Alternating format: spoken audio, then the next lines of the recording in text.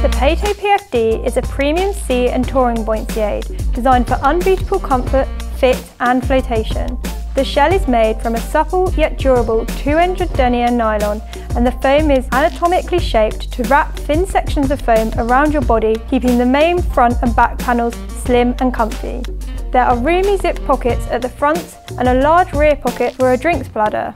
You'll also find fleece-lined hand warmer pockets and a clip at the shoulder for your drinks hose. The Peyto fastens at the front with a buckle and self-locking zip and the Palm 3D waist design holds it securely in place. The Peyto comes in both a men's and a women's version.